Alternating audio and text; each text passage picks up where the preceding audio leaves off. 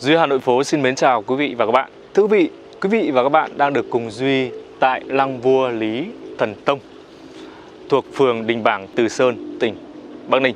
Vua Lý Thần Tông trị vì được 10 năm. Mặc dù tuổi trẻ nhưng ông có đức độ được người dân cũng như là quần thần rất tôn trọng.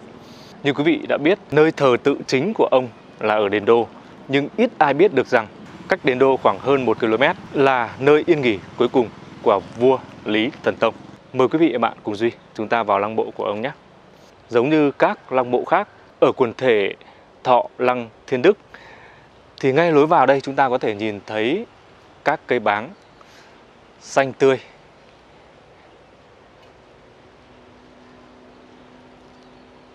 Theo quan sát của Duy, đây là khu vực thờ tự cũ và ở phía trước kia đang được xây dựng mới. Lăng này gọi là lăng Đường Do trong khu Thọ Lăng Thiên Đức. Chúng ta muốn đến ngôi mộ của người thì đi qua nơi thờ tự này.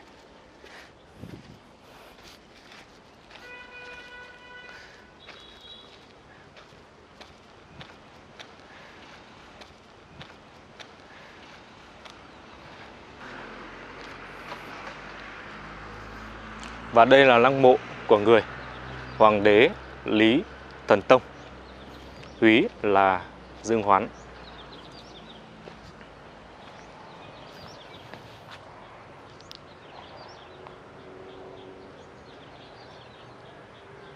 Lý Thần Tông Tên thật là Lý Dương Hoán Là vua thứ năm của triều Lý. Là vị vua duy nhất của nhà Lý Được kế vị ngai vàng không phải do vua cha truyền cho. Chuyện xưa kể lại rằng, về việc hôn nhân của nhà vua Lý Thần Tông, có một chiếu chỉ được ban bố vào tháng riêng năm canh tuất, tức là 1130, bị sử sách chê trách rất nhiều.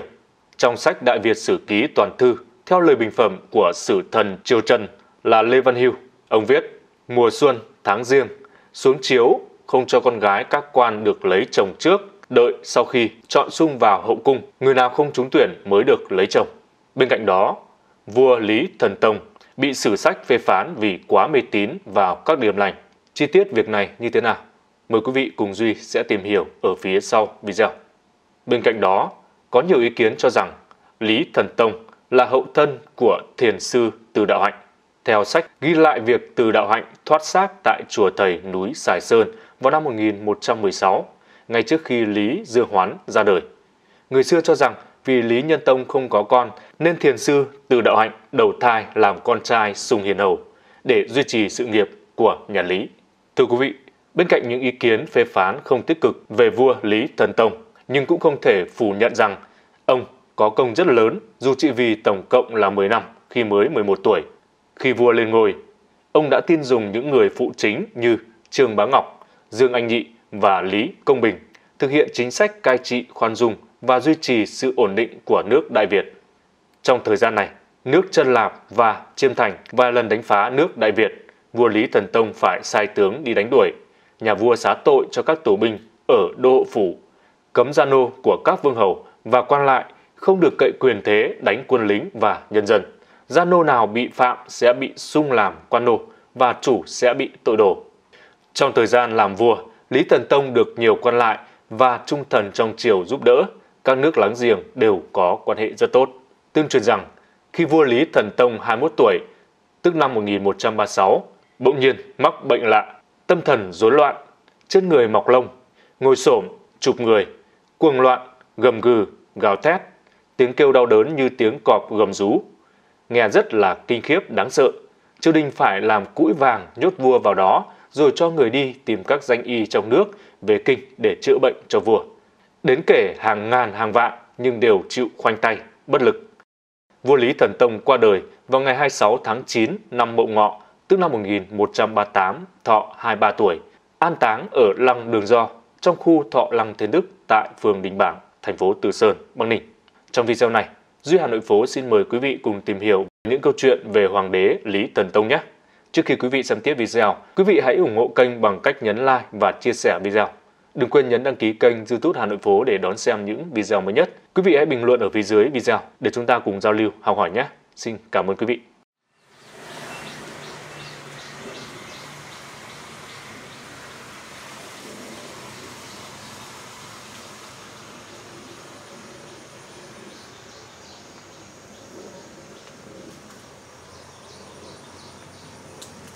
Hoàng đế Lý Thần Tông.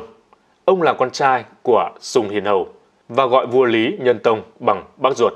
Do Lý Nhân Tông không có con trai nên mới đón ông vào cung nhận làm con nuôi, lập làm thái tử và sau này truyền ngôi cho. Thần mẫu của Lý Thần Tông họ Đỗ, bà sinh ra vua Lý Thần Tông vào tháng 6 năm Bính Thân, tức năm 1116, tại Hầu Phủ ở Kinh Đô Thăng Long. Dân gian thi truyền tụng về giai thoại thác sinh kỳ lạ của Lý Thần Tông. Tương truyền, ông là kiếp sau của nhà sư Từ Đạo Hạnh. Chuyện kể rằng, nhà sư Từ Đạo Hạnh tên thật là Từ Lộ, dùng phép để diệt kẻ thù là Đại Điên. Lúc đó đã hóa thân thành một đứa trẻ tên hiệu Giác Hoàng. Vua Lý Nhân Tông lại yêu quý Giác Hoàng, vì thế rất tức giận mới bắt giam Từ Lộ, trói ở ngoài cung, rồi họp quân thân bàn cách xét xử. Khi ấy Sùng Hiền Hầu vào chầu vua, đi ngang qua, nghe Từ Lộ nói, nếu cứu được bần tăng khỏi tội, thì sau này xin ngụ thai trong cung để báo đền ơn đức. Sùng Hiền Hầu bèn cố sức xin, Lý Nhân Tông mới tha cho Từ Lộ. Về sau, khi vợ chuẩn bị sinh, theo lời dặn trước đây, Sùng Hiền Hầu sai người đến báo cho Từ Lộ biết. Ông liền tắm rửa sạch sẽ, thay quần áo rồi nói với học trò rằng mối túc nhân của ta chưa hết, phải thác sinh lần nữa, tạm làm đế vương. Nói xong, ông đọc một bài kệ rồi mất. Đồng thời khi ấy, vợ của Sùng Hiền Hầu sinh hạ một bé trai, đặt tên là Dương Hoán. Theo Đại Việt Sử Ký Bản Kỳ Toàn Thư, năm hội tường Đại Khánh thứ 8, tức năm 1117, trẫm cai trị muôn dân mà lâu không có con nối dõi. Ngôi báu của thiên hạ biết truyền cho ai. Vậy nên, trẫm nuôi con trai của các hầu, Sùng Hiền, Thành Khánh, Thành Quảng, Thành Chiêu, Thành Hưng, chọn người nào giỏi thì lập làm thái tử. Bấy giờ con Sùng Nguyên Hầu là Dương Hoán mới lên hai, mà thông minh, lanh lợi, vua rất yêu và bèn lập làm hoàng thái tử. Sau khi vua Lý Nhân Tông băng hà, cuối tháng 12 năm Đinh Mùi, tức năm 1127, Thái tử Lý Dương Hoán lên ngôi kế vị, sự gọi đó là Lý Thần Tông. Trong Đại Việt Sử Ký Toàn Thư nhận xét về vua Lý Thần Tông như sau. Vua năm lên ngôi, còn trẻ người non dạ, đến khi lớn lên tư chất thông tuệ, độ lượng rộng rãi, sửa sang chính sự, dùng người hiền tài, thủy chung điều chính, nhiệm nhặt khúc nôi, không gì sai lệch. Vua Lý Thần Tông lên ngôi lúc đó khoảng 12 tuổi, đổi niên hiệu là Thiên Thuận, ban chiếu thư đại xá cho cả nước, trả tự do cho những người bị làm lao công, tôn vinh mẹ nuôi làm hoàng thái hậu, chủ trương ngụ binh ư nông, dùng quân lính từ nông dân, cho các quân được thay phiên về nhà làm ruộng. Nhà vua hàng ngày đến điện Kinh Diên tiếp tục học tập. Triều đình sai sứ thông báo cho nước Tống và nước Chiêm Thành biết việc vua Lý Nhân Tông mới mất và vua mới nên nối ngôi. Bây giờ nước Tống sau khi bị nước Kim đánh nên phải rút quân về phía nam sông Trường Giang, đóng đô tại Lâm An, tỉnh Chiết Giang.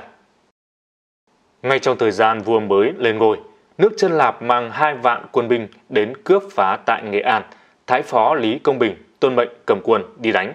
Theo Đại Việt Sử Ký Bản Kỳ Toàn Thư, vào ngày Giáp Dần năm Thiên Thuận thứ nhất, tức năm 1128, hơn hai vạn người chân Lạp vào cướp bến Ba Đầu ở Châu Nghệ An, xuống chiếu cho nhập nội Thái Phó Lý Công Bình đem các quan chức đô cùng người Châu Nghệ An đi đánh. Chín ngày sau, Lý Công Bình đánh bại quân chân Lạp, bắt được viên chỉ huy. Đây là một chiến thắng thần tốc, đáng lẽ phải ban chiếu biểu dương cho chủ tướng và quân sĩ. Nhưng bây giờ vua còn trẻ, nghe lời xui theo thói mê tín, nên đã làm một việc sai trái tệ hại. Ông không đoái tưởng đến công lao của các tướng sĩ, đích thân đến các chùa và đạo quán tạ ơn Phật, đạo giúp cho thắng trận.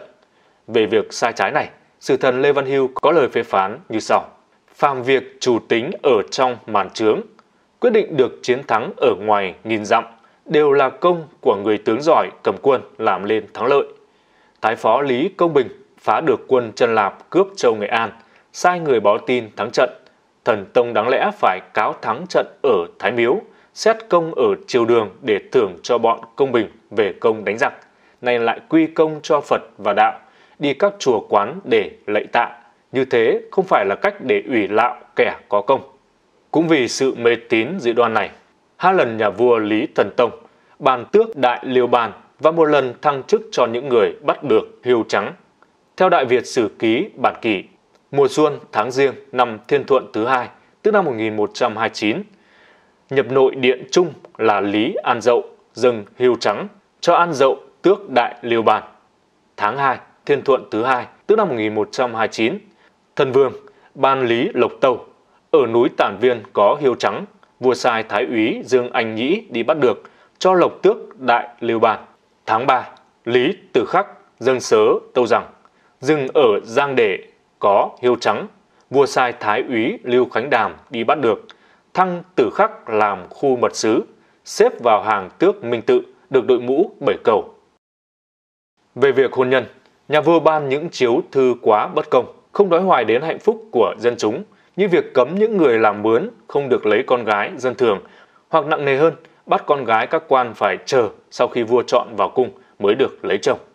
Sử thần Ngô Thị Sĩ trong sách Đại Việt Sử Ký tiền biên viết Sáu cung của vua thiên tử thiếu gì cung tân Nếu có kén chọn thì cũng chỉ cần người hiền lành, đức hạnh Là người ở trên dân, há lại tham sắc đẹp mà cứ muốn chọn khắp con gái của bách quan khi vua mới lên ngôi, tình hình tại phương Nam lúc bấy giờ vì ân uy chưa đủ nên hai nước Chiêm Thành và Trân Lạp vẫn chưa hoàn toàn thần phục.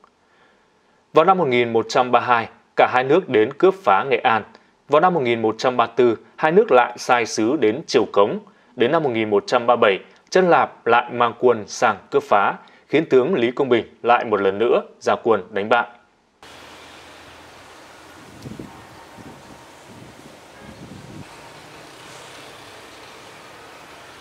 Sử sách lưu truyền một câu chuyện lạ về vua Lý Thần Tông như sau. Vào năm vua Lý Thần Tông 21 tuổi, tức năm 1136, bỗng nhiên mắc bệnh lạ, tâm thần rối loạn, trên người mọc lông, ngồi xổm chụp người, cuồng loạn, gầm gừ, gào thét, tiếng kêu đau đớn như tiếng cọp gầm rú, nghe rất là kinh khiếp, đáng sợ. Triều đình phải làm cũi vàng, nhốt vua vào đó, rồi cho người đi tìm các danh y trong nước về kinh chữa bệnh cho vua.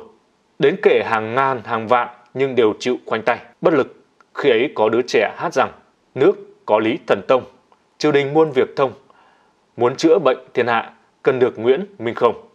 Triều đình cho rằng đây là điểm báo có người sẽ chữa khỏi bệnh cho vua, bèn sai quân chỉ huy đi đón nhà sư Nguyễn Minh Không. Khi quan quân đến am, nhà sư cười bảo, đến mời bần tăng, chắc không ngoài việc cứu cọp đó ư. Thiền sư Nguyễn Minh Không, sinh năm 1065, mất năm 1144, là một vị cao tăng nổi tiếng của triều đại nhà Lý. Ông được xem là người sáng lập nhiều ngôi chùa nhất ở Việt Nam – và được tôn vinh là ông tổ nghề đúc đồng. Cùng với Hưng Đạo Vương Trần Quốc Tuấn, ông là một trong những nhân vật lịch sử được tôn sùng làm Đức Thánh Nguyễn. Khi nhà sư Nguyễn Minh Không được mời vào cung trị bệnh, nhiều pháp sư khác cũng đang chữa bệnh cho nhà vua. Thấy sư Minh Không ăn mặc quê mùa nên tỏ vẻ khinh thường. Khi ấy, nhà sư chỉ đóng một chiếc đinh dài vào cột rồi nói Ai nhổ được cái đinh này ra, hãy nói chuyện chữa bệnh. Nhưng chẳng ai dám trả lời. Sau khi vào gặp vua, Sư Minh Không sai người đi chuẩn bị một cái vạc lớn đựng nước nấu sôi cả trăm lần. Nhà sư dùng tay không tắm cho vua. Sau đó, việc của vua Lý Thần Tông ngày càng thuyên giảm, ít lâu sau thì khỏi hẳn. Khỏi được bệnh lạ, vua vô cùng cảm phục tài năng của nhà sư Minh Không. Để tạ ơn cứu mạng, vua đã cho phép nhà sư đổi từ họ Nguyễn sang họ Lý và phong làm quốc sư, lại ban cho 100 cân vàng và 100 khoảng ruộng để hương hỏa cho chùa. Ruộng này không có lấy thuế. Theo sử sách, việc thiền sư Minh Không chữa bệnh cho Lý Thần Tông đã được ấn định từ trước. Khi sắp viên tịch, thiền sư từ đạo hạnh đã cho gọi Minh Không đến mà dặn rằng ta này sắp xuất thế, ở cái địa vị làm thầy người ta, bệnh trái kiếp sau quyết là khó tránh nổi, ta với người có duyên nên cứu giúp nhau.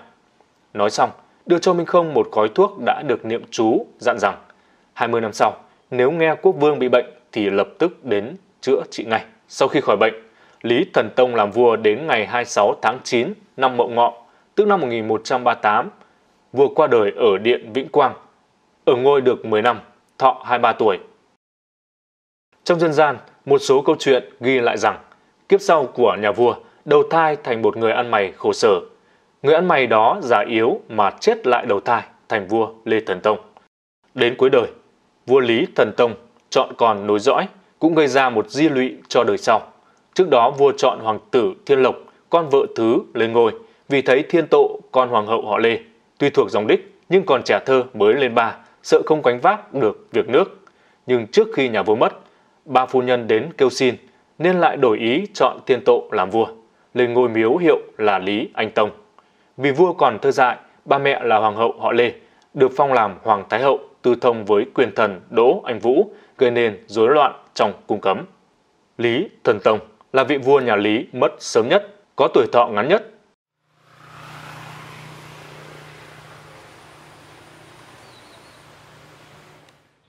Cảm ơn quý vị đã chú ý theo dõi. Nếu quý vị có dịp về với lại Kinh Bắc, vị trí Duy đứng đây cách trung tâm Hà Nội khoảng 16 km thôi, ờ, có thể qua đền Đô để thắp nén nhang cho các triều đại vua Lý hoặc là quý vị có dịp thì hãy về nơi Lăng Bộ của người để chúng ta cùng hưởng cái không khí, không gian ở quanh khu Lăng Bộ cũng như chúng ta tri ân trực tiếp tới người. Quý vị nhớ nhấn like cũng như hãy chia sẻ video để nhiều người biết đến địa chỉ, địa điểm này. Đừng quên nhấn đăng ký để đón xem những video mới nhất của Hà Nội phố. Xin chào và hẹn gặp lại quý vị trong những video sắp tới.